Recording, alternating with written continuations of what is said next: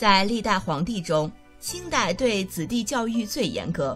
清代皇家教育到康熙平定三藩后才确立正规制度。据《养吉斋从录》记载，我朝家法，皇子皇孙六岁即就外父读书，意思是皇子虚岁满六岁便开始读书，早五点到下午三点，共十小时，一年只能休息五天，即元旦、端午、中秋、皇帝生日、自己生日，此外连除夕都不能放假。虽然是凌晨五点开始上课，但皇子需凌晨四点到书房复习前天的功课。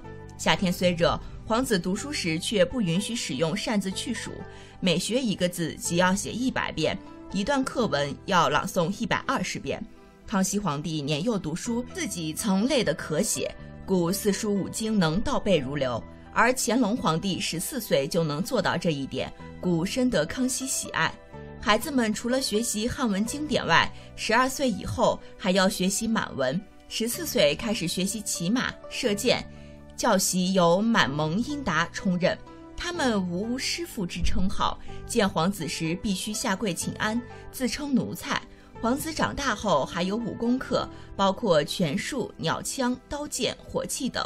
西方传教士张成曾说，康熙三十一年的夏天，康熙带着七个弟子巡视塞外，整整一个月里，这些皇子终日跃马扬鞭，搭弓射箭，不亦乐乎。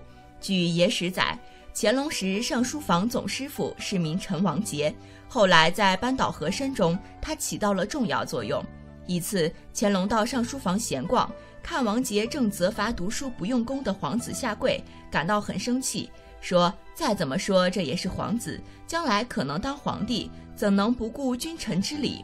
王杰回答说：“教者尧舜，不教者桀纣，为师之道乎？”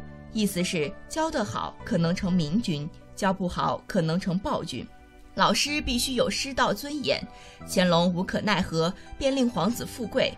当然，这只是野史作者的理解。事实上，清盛期皇帝几乎每天都会去上书房巡视。康熙尤勤，每天九点左右到上书房听皇子们背书，有时下午四五点钟还会再来一趟，带着大臣们一起听皇子背书。皇子们直到结婚分府后，方能免除此番苦役。醇亲王奕在《竹窗笔记》记载，如届时功课未完成或罚书罚字，其师傅准去吃饭方去，随室内应答。太监等无敢催促者，下书房亦然。师傅在书房为吃晚饭，某屋念书及某人在某间下屋，均由上指定。清人赵翼在《言报杂记》中对此曾大发感慨。本朝家法之严及皇子读书一事，已迥绝千古。晚清光绪年间虽无皇子，但宜注重对贵胄的培养。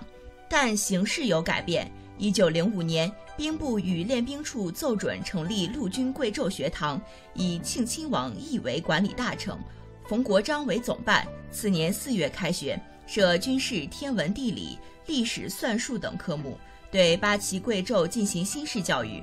招收学员近百人，另有四十余名有任职王公，亦命为听讲员。